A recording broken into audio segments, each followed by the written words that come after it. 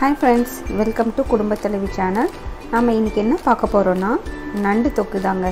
சூப்பரான ஒரு நண்டு தொக்கு பார்க்க போகிறோம் இது எப்படி செய்யலான்னு பார்க்கலாம். இதை செஞ்சு பார்த்துட்டு நிச்சயமாக இது வரைக்கும் நண்டு வாங்காதவங்க கூட இனிமேல் நண்டு வாங்கி அடிக்கடி செஞ்சு பார்க்க போகிறீங்க வாங்க இதுக்கு தேவையான இன்க்ரீடியன்ஸ் என்னென்னு பார்க்கலாம். இதுக்கு தேவையான இன்க்ரீடியன்ஸ் மெயினாக பார்த்திங்கன்னா நண்டு நாங்கள் நண்டு ஒரு கிலோ நண்டு நல்லா வாஷ் பண்ணி எடுத்து வச்சுருக்கேன்.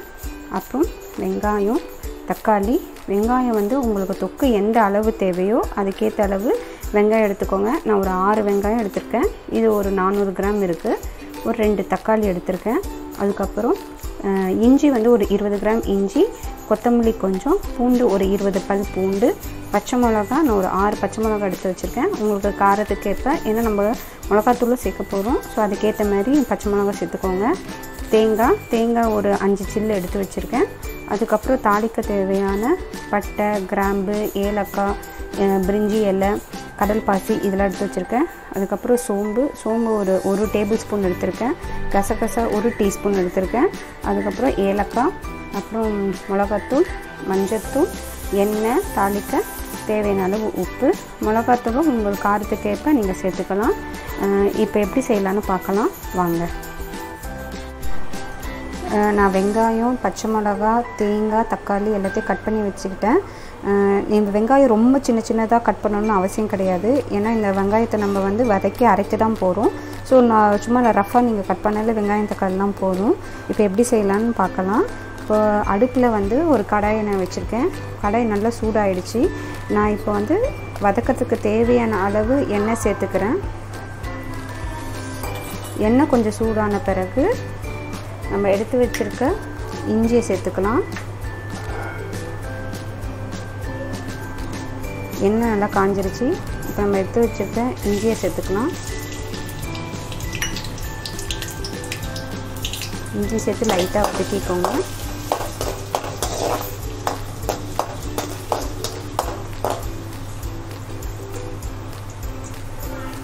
இஞ்சி கொஞ்சம் வதங்கின பிறகு எடுத்து வச்சிருக்க பூண்டையை சேர்த்துக்கோங்க. இஞ்சி பூண்டு டேஸ்ட்டாக சேர்த்தா அந்தளவு டேஸ்ட்டு நல்லா இருக்காது. இந்த தொக்குக்கு நம்ம இஞ்சி பூண்டு தனித்தனியாக தான் சேர்க்கணும். இது ஒ- கொஞ்சம் அந்த ராஸ்மல் போகிற வரைக்கும் வதக்குனா போதும்.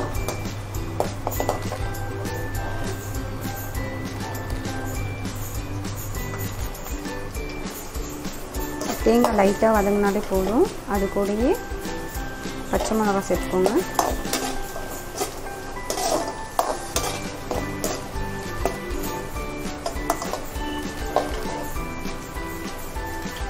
வெங்காயம்.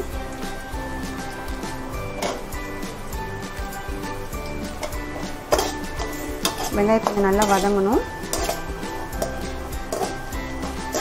வெங்காயம் வதங்குற வரை கொஞ்சம் வெயிட் பண்ணலாம்.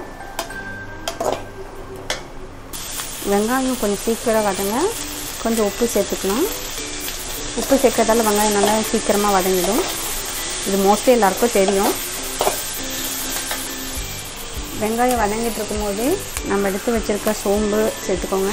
இல்லை சோம்பு கொஞ்சம் எண்ணெய் சேர்த்த உடனே நம்ம ஆட் பண்ணியிருக்கணும். நான் மறந்துட்டேன். நீங்கள் எண்ணெய் சேர்த்தோடனே இஞ்சி பூண்டு சேர்த்தோடனே நீங்கள் சோம்பையும் ஆட் பண்ணிக்கோங்க. அது கூடயே ஏலக்காவையும் கசகசாவையும் ஆட் பண்ணிக்கோங்க. வதங்கிடுமான்னு டவுட் பட வேணாம். கண்டிப்பாக வதங்கிடும். இதையெல்லாம் சேர்த்து அரைக்க தான் போகிறோம் நல்லா வதங்கிடுச்சு கலர் சேஞ்ச் ஆகிடுச்சு இப்போ எடுத்து வச்சுருக்க தக்காளியும் ஆட் பண்ணி நல்லா வதக்கிக்கலாம்.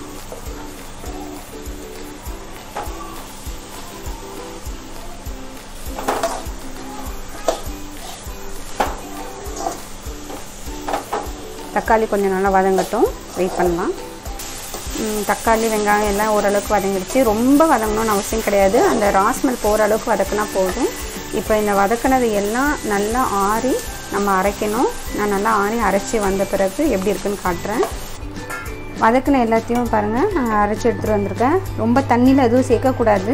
வெங்காயத்தில் இருக்க அந்த தண்ணியே நல்லா அந்த இதை அரைக்க வந்து நல்லா ஹெல்ப் பண்ணும். இப்போ இந்த அரைச்சி வச்சுருக்கிறத ஒரு பாத்திரத்தில் ஆட் பண்ணிக்கணும்.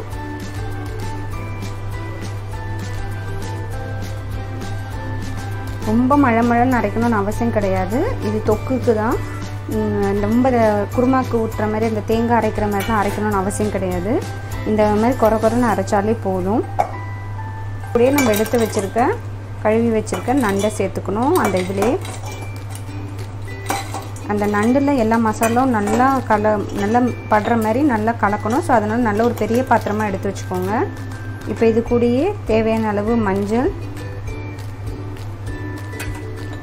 உப்பு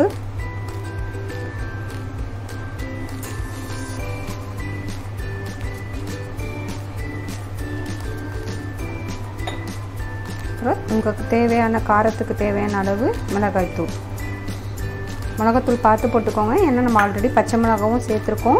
அதனால் தேவையான அளவு ம மிளகாத்தூள் சேர்த்துக்கோங்க. இப்போ இதுக்கு தேவையான தண்ணி வந்து நம்ம அரைச்ச ஜார்லேருந்து அப்படியே கொஞ்சம் தண்ணி ஊற்றி கலந்துக்கலாம்.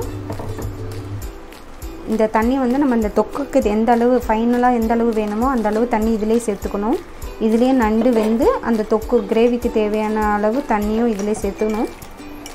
நம்ம மெயினாக தண்ணி ஏன் இப்போயே சேர்க்குறோன்னா அதுக்கப்புறம் தண்ணி தனியாக சேர்க்கும் போது வந்து அந்த டேஸ்ட் ரொம்ப வித்தியாசமாக இருக்கும். இந்த நண்டோட ஊறி வர அந்த டேஸ்ட்டு தான் அந்த கிரேவியை வந்து நல்லா ஹைலைட் பண்ணும். இப்போ இந்த மசாலாலாம் நல்லா நண்டில் படுற மாதிரி நல்லா கலந்தாச்சு. இப்போ இதை எப்படி தாளிக்கலான்னு பார்க்கலாம். ஆல்ரெடி நான் வெங்காயம் வதக்கின கடாய் தான். அதில் இப்போ எண்ணெய் சேர்த்துக்கோங்க. எண்ணெய் காஞ்சிருச்சு. இப்போ நம்ம எடுத்து வச்சுருக்க பட்டை கிராம்பு பிரிஞ்சியல் அதெல்லாம் சேர்த்து நல்லா பொரிச்சு பொரிஞ்சிற அளவுக்கு வெயிட் பண்ணணும்.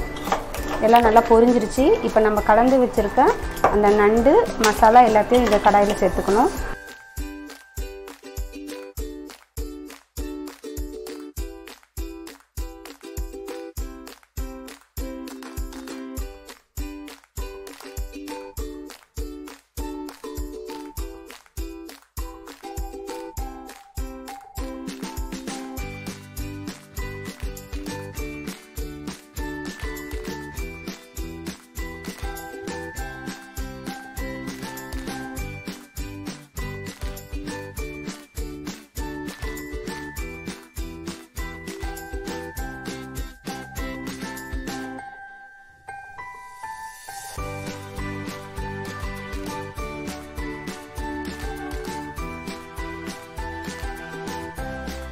ஸ்டவ் ரொம்ப ஹையில் வைக்கக்கூடாது. கொஞ்சம் மீடியமில் வைக்கணும்.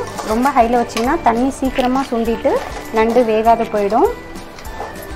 இப்போ நண்டோடைய கலர் கொஞ்சம் அப்படியே சேஞ்ச் ஆகும். அது வரைக்கும் லைட்டாக கிண்டிட்டு இருங்க. இந்த ஒயிட்டாக இருக்க நண்டுலாம் லைட்டாக கலர் சேஞ்ச் ஆகும். பாருங்கள் கலர் நல்லா சேஞ்ச் ஆகுது.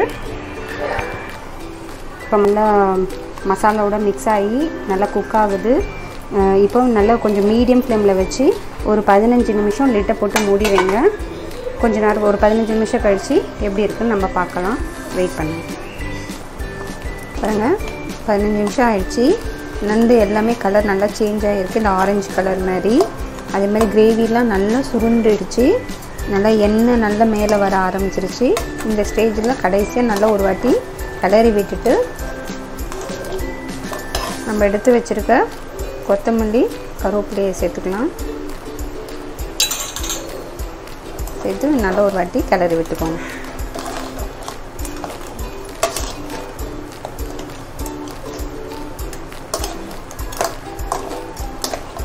சூப்பரான நண்டு கிரேவி ரெடி ஆகிடுச்சு இப்போ சர்வ் பண்ணலாம்.